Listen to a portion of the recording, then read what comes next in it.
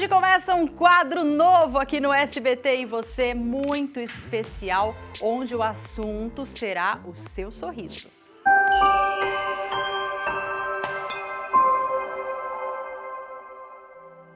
Doutora Paola Marconi, seja muito bem-vinda. Ai, obrigada, Mira. Que legal, hein? O quadro aqui vai fazer muito sucesso. Sim, eu espero que sim. Estou muito não feliz. Não tenha dúvida, não tenha dúvida. A doutora Paola já participou do programa outras vezes e agora ela vai ter esse quadro aqui sempre, sempre, sempre, para ficar cada vez mais perto de você aí de casa, para tirar as dúvidas, né, doutora? Sim, Todo estou aqui tá para esclarecer muitas dúvidas. Bom, vamos começar do comecinho, lá para trás. Como é que você escolheu a tua profissão, Paola? Bom, eu sou cirurgiã dentista uhum. e eu escolhi essa profissão, eu acredito que na infância já. É, eu sempre soube que eu gostava da área da saúde, do atendimento, do contato próximo do, tá. da pessoa, contato Estou. humano mesmo. Uhum. E meu pai influenciou um pouquinho também, hum. né? Ele sempre falou de odontologia, medicina, dessa área de, de área saúde. Também? Não, não, não, era da área. Ele fez uma época medicina, mas depois não continuou. Entendi. E aí você resolveu, falou, não, não vou ser médica, vou ser dentista. Dentista, ele dentista. sempre falava sobre isso. E quando eu era criança, eu gostava muito de ir ao dentista. Ah, ah então. Coisa inédita, é, né? É. Coisa inédita, que a criançada não, não, não vai muito, não. Não, não gosta não. muito, não. E aí tem algumas fotos, olha que legal, da turma da faculdade da Paola. Chegando aí, olha lá, tem saudade, Paola, quando você vê assim? Tenho. Quantos Eram anos faz? 12 anos. Tá. É minha turma de 2011, né, na, da Unirp, aqui em São José do Rio Preto mesmo. Uhum. Turma boa, grande. É mesmo, né? Ah lá, só ah festa. Ei, época boa, né? Muito estudo, mas muita festa também. Você tem amizade ainda com alguns? Tenho, mantenho contato com algumas pessoas. A maioria. É, que legal. É, a maioria, a gente ainda. E todo mundo seguiu carreira?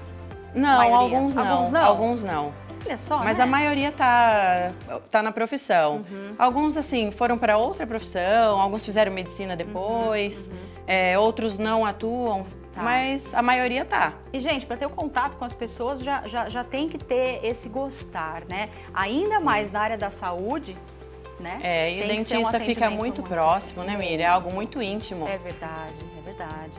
Mas Do, é Para os dois lados, né? Sim. Para os dois lados. E qual que é o maior desafio, hein, Paola? Ali oh, no dia a dia ou aprender uma técnica nova? Como é que é?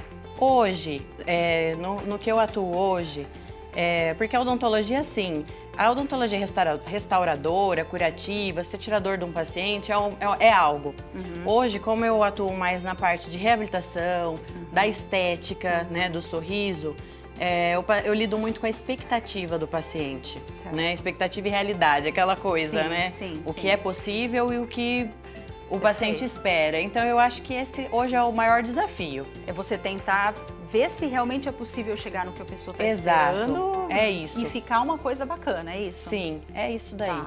E você montou seu consultório logo de cara? Como é que foi? Então, não. Uhum. É, hoje eu tenho um consultório maravilhoso aqui no, no, Georgina, aqui em São José do Rio Preto. Tenho uma clínica em Mendonça, na cidade de Mendonça. Ah, que legal. Um beijo, pessoal de Mendonça. Aê, Mendonça! E não, não, não é do início, assim, que eu me formei e já montei o consultório. Então, fui uhum. trabalhar para outros dentistas, é, montei uma sala aqui de meia, né, dividindo tá. com outro profissional. E depois fui para Mendonça, lá eu já atuo há 10 anos.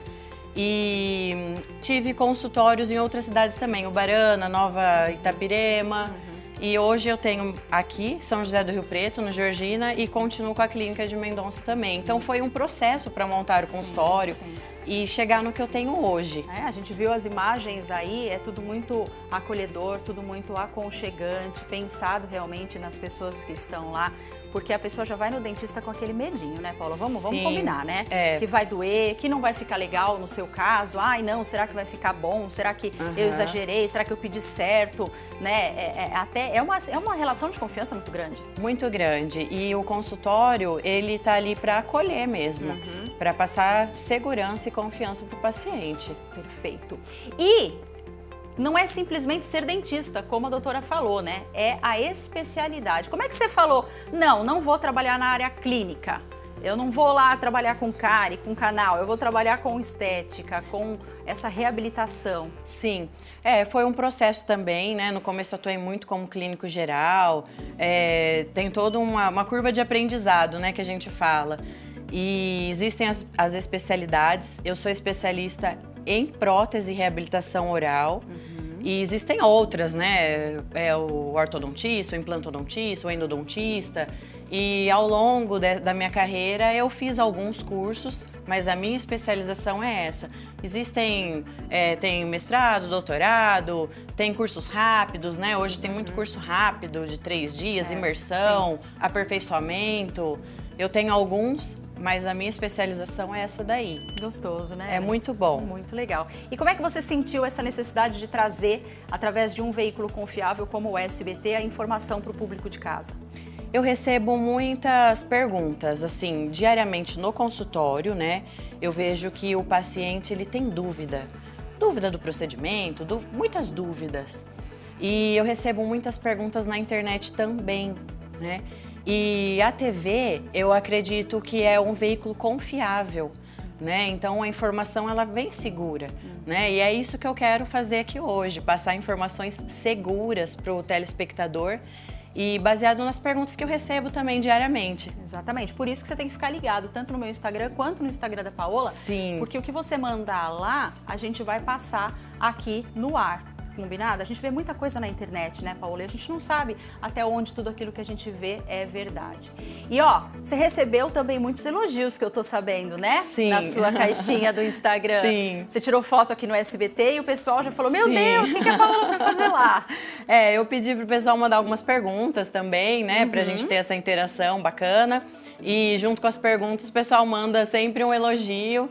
E isso daí enche a gente, né, de felicidade e, e ver que está no caminho certo. Admiração pelo seu trabalho, tem muita gente. Inclusive, tem uma caixinha especial que a gente vai colocar aí, ó, de elogios, né? Sim. Que, é, lá, mais um. Sorrir alegra o dia, viver sorrindo transforma a sua vida. É, é isso, que, que, te motiva? motiva? E é? Sim. É? Ah, Sim. Muda a vida das pessoas? Com certeza, com certeza. É mexe com tudo, né, Miriam? Até autoestima. Tem a dúvida. E a pessoa sai assim radiante, né, uhum. quando recebe uma transformação. Uhum. Tem mais caixinha. Vamos ver aí todos os elogios que a Paola recebeu.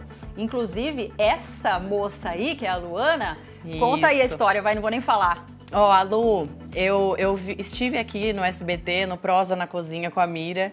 E ela veio através da Mira. Ai, que legal. E... Um beijo.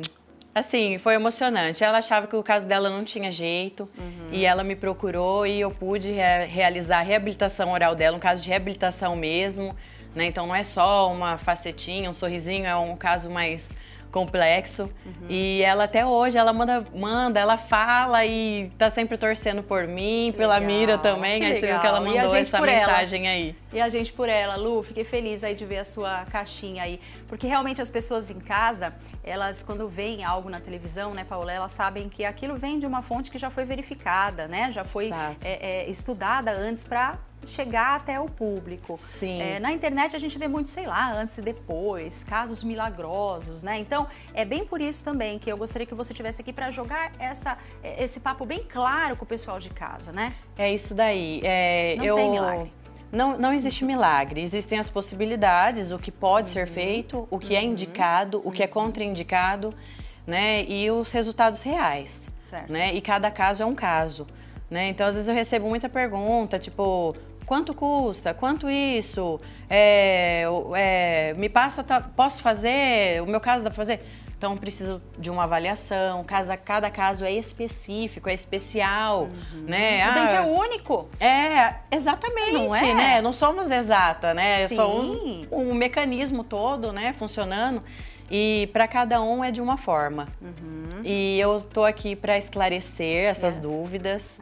E esse quadro Promete. Para isso, né? Muito é. bom. Paulo, eu quero te dizer que eu estou muito feliz pelo quadro, por você estar tá aqui, pelo teu profissionalismo. Eu acho que vai ser uma super parceria tua com o SBT, comigo. Uhum. Então, seja muito bem-vinda mais uma vez, tá? E eu Obrigada. queria terminar é, mostrando mais uma vez as as imagens da clínica, como tudo foi. É, você acolheu a nossa equipe lá para fazer essas imagens Sim. muito bem, tá tudo lá, você trabalhando bonitinha, recepção, tudo muito bem organizado para você aí de casa, né, Paula? É isso daí. Então vamos pro próximo? Sim. Então tá jóia. Obrigada, viu? Até Eu lá. que agradeço. Até. Até.